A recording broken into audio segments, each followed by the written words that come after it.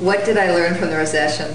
Wow, I learned a lot. I learned how fast things can change. But you know, it's not the first recession I've lived through, and I believe it actually makes organizations stronger because you learn what's important, where you maybe need to cut back. You learn to pay attention to the details again, and you learn to focus on the right things to make sure that you can get through it. It's a great test of entrepreneurialism if you can understand exactly what's driving your business and make it work better as a result of bad times.